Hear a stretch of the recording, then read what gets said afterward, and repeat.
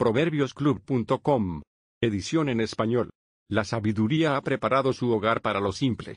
Proverbios 9.2.26. Ella ha preparado su carne y mezclado su vino, también ha puesto su mesa. Ella ha enviado a sus sirvientes, y llama desde el punto más alto de la ciudad, que vengan todos los que son simples a mi casa. A los que no tienen sentido ella dice. Ven, come mi comida y bebe el vino que he mezclado.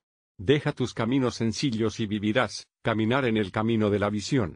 Nueva versión internacional, NIV. Comentario de PCDC La sabiduría llama a aquellos sin sentido a caminar con perspicacia y vivir.